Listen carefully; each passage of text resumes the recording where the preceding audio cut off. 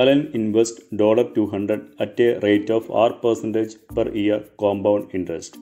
After two years, the value of his investment is $206.46. Show that R square plus 200 R minus 323 is equal to 0. Then here given the value of investment that is amount amount is equal to 206.46 that is after 2 years the value of his investment is $206.46 that is amount is equal to 206.46 then it is a compound interest. In compound interest case we know the formula to find amount. That is amount is equal to p times 1 plus r over 100 all power t. Then in this case the value of p here p represent principal value and r represent rate of interest and t represent the time duration that is number of years. Then here in this case here given uh, Alan invest dollar 200 that is this dollar 200 it represent the value of p the starting amount. Then r rate of interest that is here given rate of interest that is r percentage symbol r symbol r percentage. Then next one is t time duration. That is here it is 2 years. Then we can substitute that value in this equation.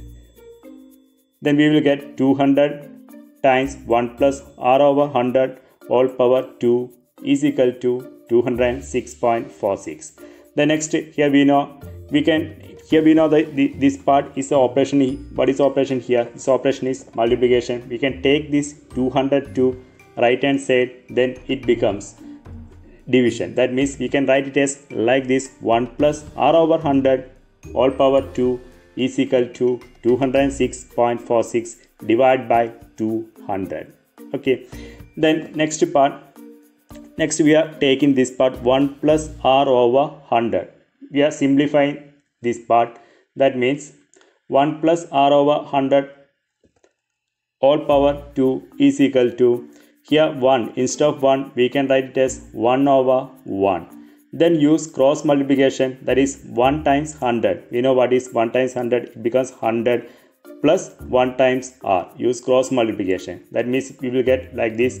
1 times 100 100 then 1 times r r divided by 1 times 100 that is 100 all power 2 that means instead of 1 plus r over 100 all power 2 we can write it as 100 plus r divided by 100 all power 2 then we can replace this part 1 plus r over 100 all power 2 by this expression. That means we can write it as like this. 100 plus r over 100 all power 2 is equal to 206.46 divided by 200 then we can give this 2 to numerator and denominator. That means we can write this expression like this 100 plus r all power 2 divided by 100 square is equal to 206.46 over 200 now we can take this 100 square to right hand side. Here this operation is division. It becomes multiplication.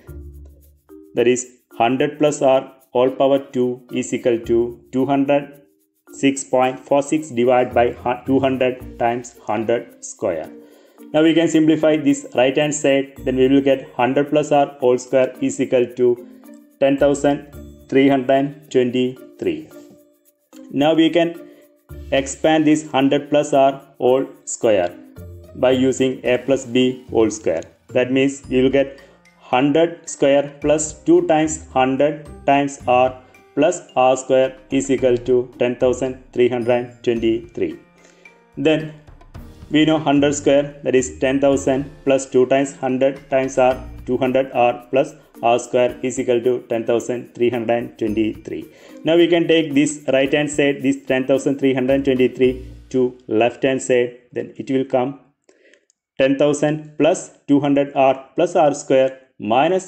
10,323 is equal to 0 now we can simplify then here 10,000 is there and 10,323 is there then if we 10,000 minus 10,323 we will get minus 323 that means we will get r square plus 200r minus 323 is equal to 0.